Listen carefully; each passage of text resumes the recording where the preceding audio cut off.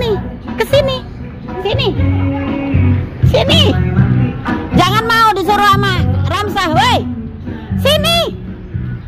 Sini. Rian. Rian. Sini. Tuh Ramsah nakal tuh nyuruh Rian beli rokok. Sini Rian, Rian jangan kasihin ke Ramsah. Jangan kasihin ke Ramsah. Ramsah nggak sembuh-sembuh kalau kayak gitu. Sini.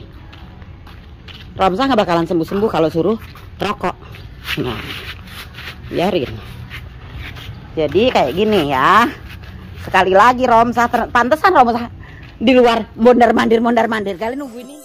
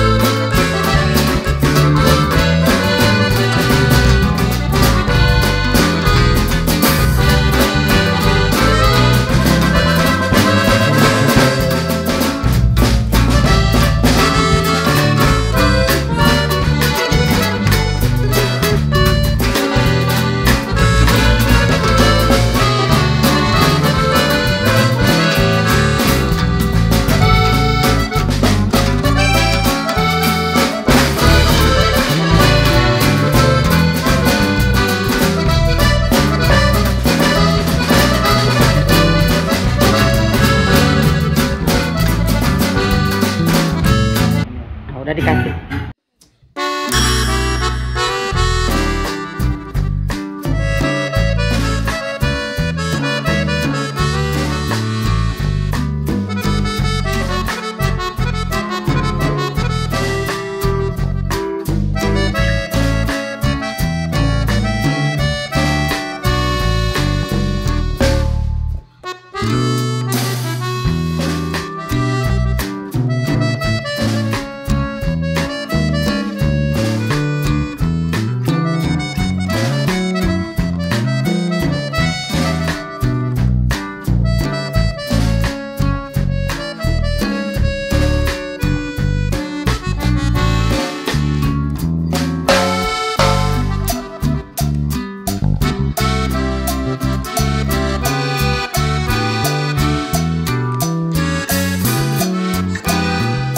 Jangan kasihin ke Romsah. Romsah nggak sembuh-sembuh kalau kayak gitu.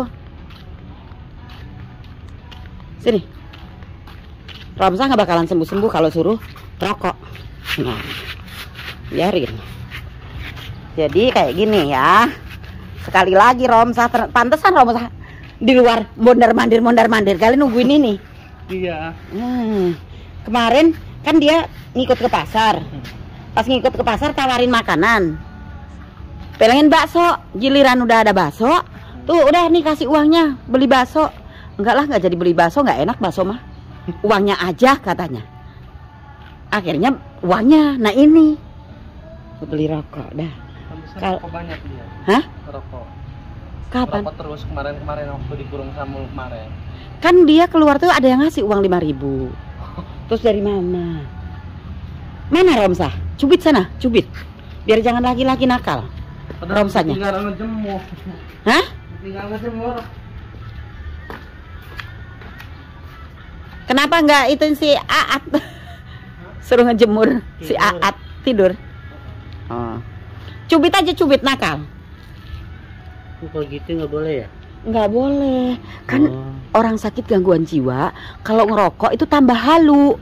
Oh. Tapi kalau ngopi pagi, pagi ngopi nggak masalah. Cuman pagi doang. Kalau malam juga nggak boleh ngopi. Karena kalau malam kan minum obat. Kalau minum obat, fungsi obat itu nggak ada nantinya. Hmm. Jadi kalau malam waktunya tidur. Oh. Kalau mau ngopi pagi. Jadi kalau ngerokok itu nggak boleh karena bikin tambah halu. Jadi kalau disuruh beli rokok jangan mau ya. Ya. Bilang aja ke saya, jangan takut. Nggak bakalan dimarahin kok. Kok rokoknya dirusakin? Jadi rusakin lah buat apa? Lagi berak. Tadi dia mudar mandir di sini, mudar mandir. Iya, tadi pintu ditutup. Iya, dia dia nungguin ini kayaknya. Bilang kalau nanti Romsan ini eh, kamu nggak boleh ngerokok gitu, kamu nggak bakalan sembuh. Nasehatin ya, biar kayak Rian ya. Biar kayak Rian, Rian sehat karena semangat dari dirian pengen sembuh. Jadi lepas rokok biar sehat. Nah kalau Romsa nggak nggak bisa lepas rokok, nggak sehat-sehat, kasihan kan?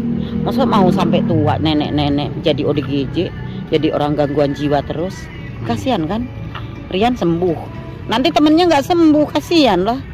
Biar semua teman-teman di sini sehat semua, Hmm. nggak ada yang sakit, ya. Nah, Udah kumpul sama teman-teman. Nggak usah nggak usah mau kalau disuruh Aat sama Romsah ya. Itu bandel itu anak dua tuh. Makanya dikurung karena nakal ya. Tuh ngedengerin musik sama yang lain.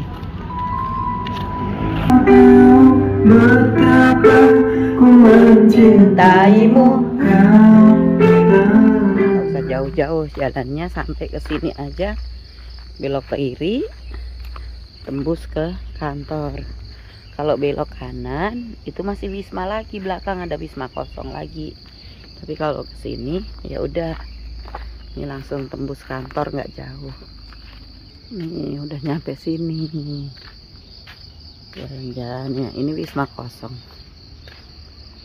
Sebelahnya juga kosong. Depannya kosong. Tapi nggak apa-apa lah.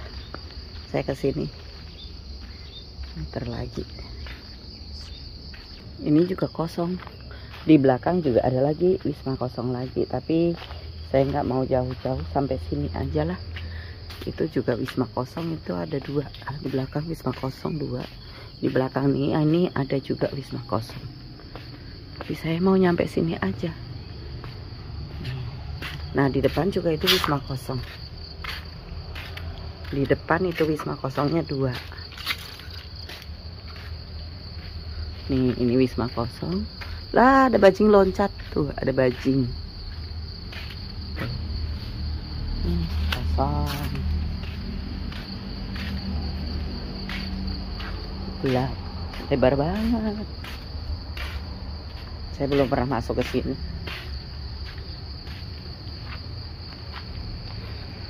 Di sini petugas kebersihannya kalau beberes capek kayaknya.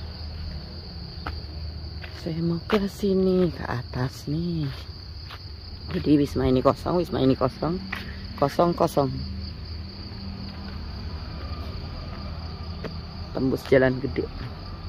Nih udah tembus di sini sapam, pos sapam. Di sini kantor. Saya udah mau nyampe lagi. Nggak apa-apa jalan-jalan sebentar. Yang penting eh, ada gerak lah. Yang penting ada gerak pagi-pagi. Yang dulunya biasa berenang jadi sekarang bergeraknya di bawah jalan-jalan keliling wisma aja. Oke teman-teman kita lihat dulu. Anak-anak udah bangun belum? Kalau belum ya udah saya lanjut nyiram bunga. Ini Pak Mahdi. Pak Mahdi ini tukang sapu yang di sini yang paling rajin nyapu biasa keliling sini-sini bunga disapuin dari pagi. Pak Mahdi itu masih muda masih bujangan. Pegawai kantor sini masih bujangan jadi OB-nya di sini. Rajin banget orangnya. Terus saya kalau perlu minta apa-apa mintanya ke Pak Mahdi. Jadi keperluan kebersihan. Terus kalau dibagi baju apa dibagi apa itu lewat Pak Mahdi. Oke masih anak-anak masih pada belum bangun. Jadi lanjut nanti ke video berikutnya. Sekian dulu. Wassalamualaikum warahmatullahi wabarakatuh